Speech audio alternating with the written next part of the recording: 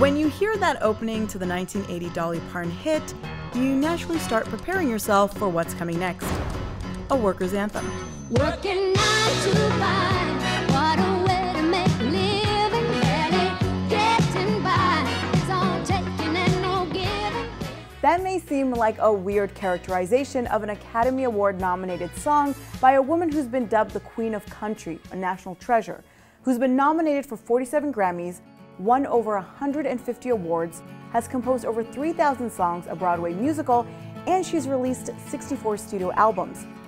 And a woman who has said for years that she modeled her look after the so-called town tramp. The people that they call trash in my hometown here in Sevier County, the loose women, well, that was the women that I thought were, were beautiful. So I've been at it all my life, trying to be gaudy.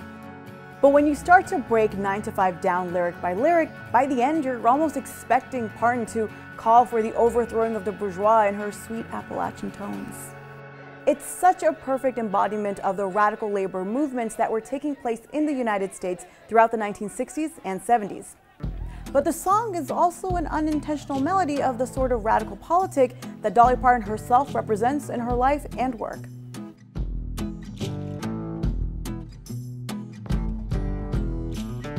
Dolly Parton is an American icon. Her look, her sound, her whole damn existence. Now that I've made it, no matter how hard it gets, I mean, I'm not about to bitch about it now. She was born in a small town in Tennessee in a small log cabin, one of 12 kids. We had a roof over our head, I always say, even if it did leak. We had something to eat on our table, even if it wasn't exactly what we wanted. Had a bed to sleep in, even if there's a bunch of us in it. She started singing at the age of 10, but her career really launched in 1967 when she became a regular on The Porter Wagoner Show. Right now, I want to call out a little gal here that her and I have had a lot of luck with a couple of single records. I haven't called you out yet. Oh, Wait just a minute there, kiddo. Within a few years, she became the queen of country with hits like He said you just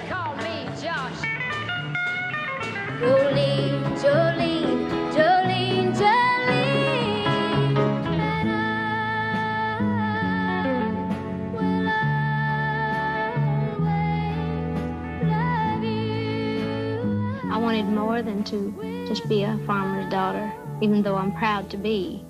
Uh, I just wanted uh, pretty things. I wanted money to buy the things that I had always been impressed with as a child.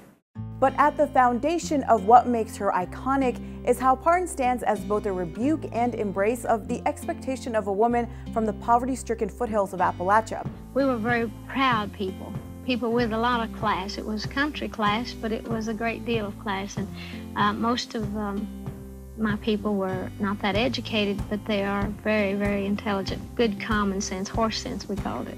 And while Parton herself stays away from talking politics, her own life has been a testament to how she has stood with people. I don't care what if, whether whether it's your race or whether you're green, blue, black, red, or alien gray, or whether you're male or female or transgender.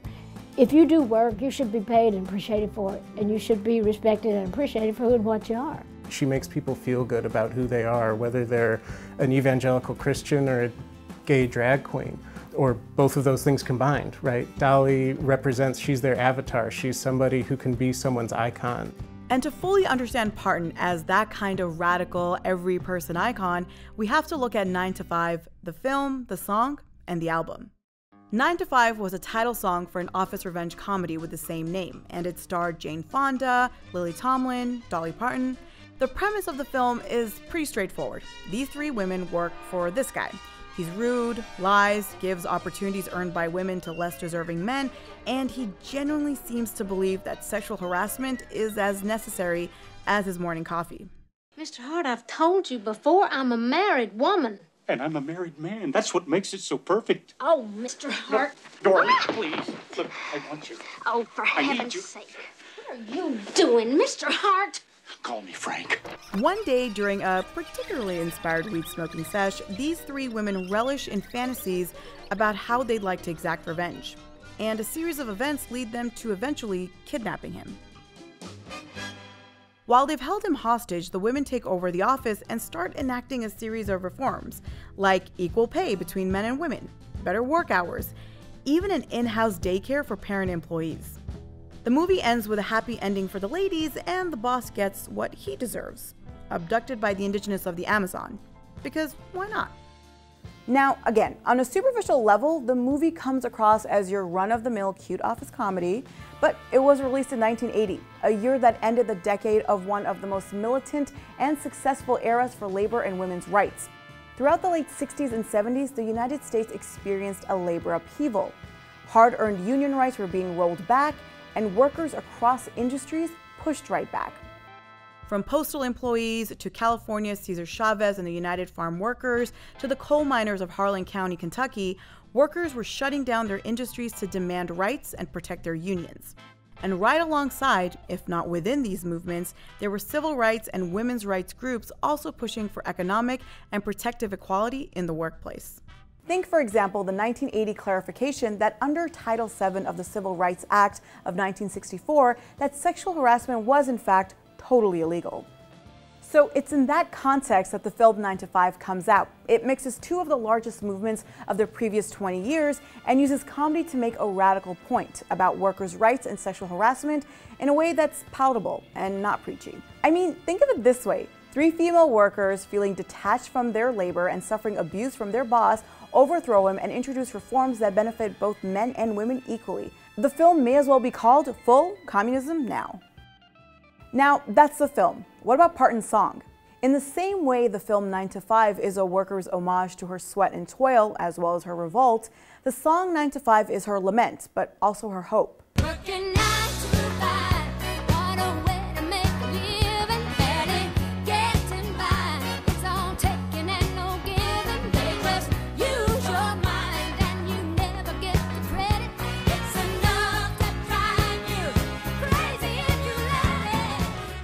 Chorus, catchy and relatable, actually does a pretty good job of summing up philosopher Karl Marx's theory of worker alienation, which is a huge part of his overall critique of capitalism and not something you'd expect from a catchy pop country song.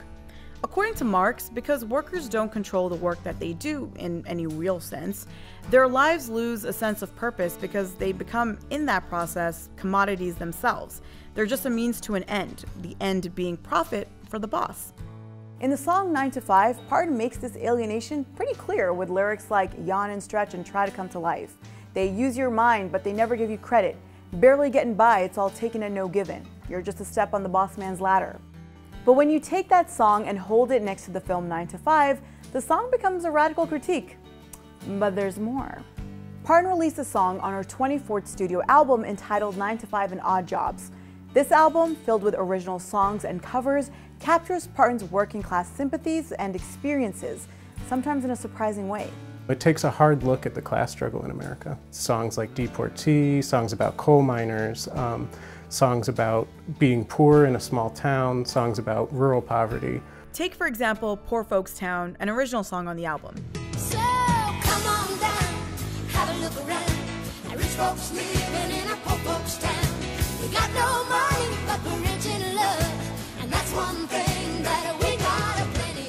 and another original, Sing for the Common Man.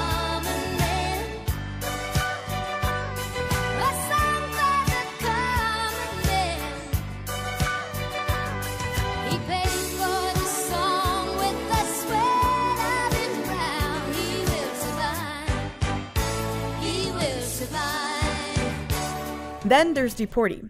It's a cover of proud communist Woody Guthrie's protest song about a group of Mexican workers who were killed in a plane crash over Los Gatos, California in 1948.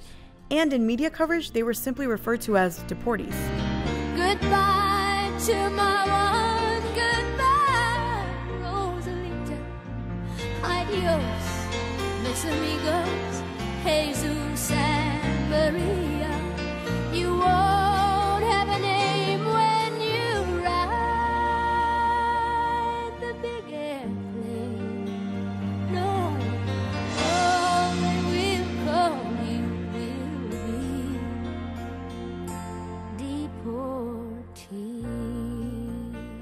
song in the album illustrates a different aspect of working class America, and together they create perhaps Dolly Parton's most provocative, definitely most radical, homage to the everyday person.